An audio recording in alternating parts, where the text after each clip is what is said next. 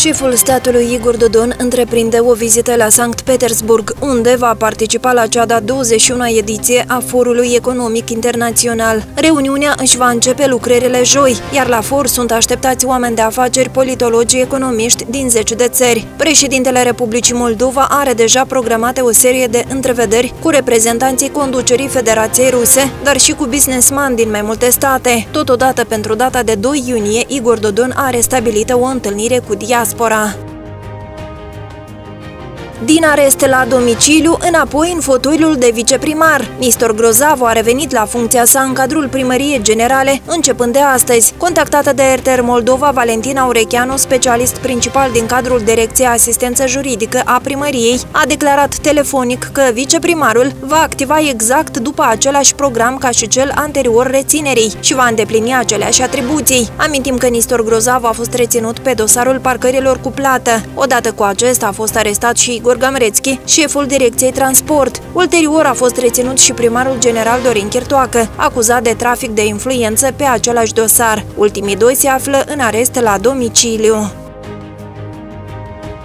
Dosarul privind trucarea licitațiilor pentru asigurarea cu produse alimentare a grădinițelor a fost finalizat și expediat în instanța de judecată, anunță Procuratura Anticorupție. Instituția mai precizează că 8 învinuiți din cei 9 au recunoscut vina parțial sau integral și au fost încheiate în 5 cazuri acord privind recunoașterea vinovăției. În privința învinuiților a fost aplicată măsură preventivă controlul judiciar. Pentru infracțiunile comisiei, inculpații riscă pedepse cu închisoarea, amenzi și privare privare de drepturi. Concomitent, urmărirea penală continuă în privința altor 15 învinuiți, în cauza penală menționată, mai precizează procuratura. Tinerii din țară vor avea posibilitatea să-și procure o locuință în baza proiectului Prima Casă. Anunțul despre lansarea acestuia a fost făcut de către premierul Pavel Filip. Potrivit acestuia, familiile tinere care vor să-și cumpere o casă vor beneficia de credite preferențiale. Statul ar putea garanta o parte din creditul ipotecar, iar rata dobânzii ar putea fi mult mai mică decât cele stabilite în prezent de băncile din țară. Contribuția inițială a tinerilor este de doar 10%.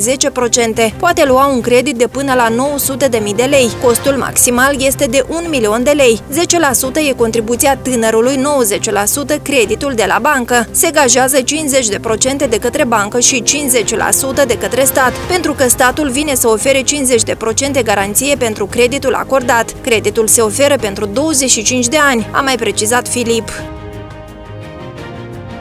Din nou nereguli în domeniul medical, de această dată vis-a-vis -vis de executarea fondurilor asigurării obligatorii de asistență medicală. În acest sens, Curtea de Conturi a efectuat un audit, iar în urma acestuia au fost constatate mai multe probleme ale cadrului regulatorii existent. Bună oară, la două instituții publice au fost verificate prescrierile medicale pentru tratamentul maladiilor cardiovasculare și a diabetului zaharat, ce dețin o pondere semnificativă în structura medicamentelor compensate. Auditul a constatat tendințe tendința de neînregistrare potrivit cerințelor stabilite, ceea ce nu a permis auditorilor să obțină o asigurare rezonabilă privind justificarea prescrierii medicamentelor compensate. Totodată s-a constatat că a fost admisă prescrierea de către 137 de medici de familie a medicamentelor pe nume propriu, prin nerespectarea principiului teritorial, precum și a persoanelor împuternicite cu aceste drepturi. Astfel, aceștia și-au prescris medicamente în baza a 1050 de rețete, în sumă de 85.000 de lei.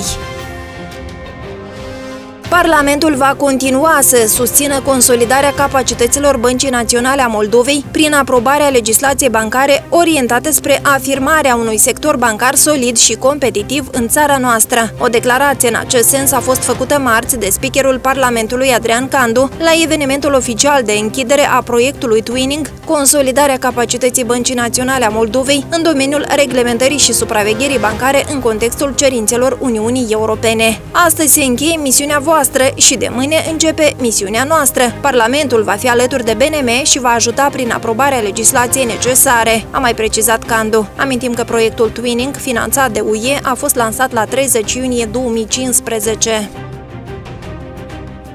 În toate școlile și liceele din țară au avut loc manifestații dedicate încheierii anului de studii 2016-2017.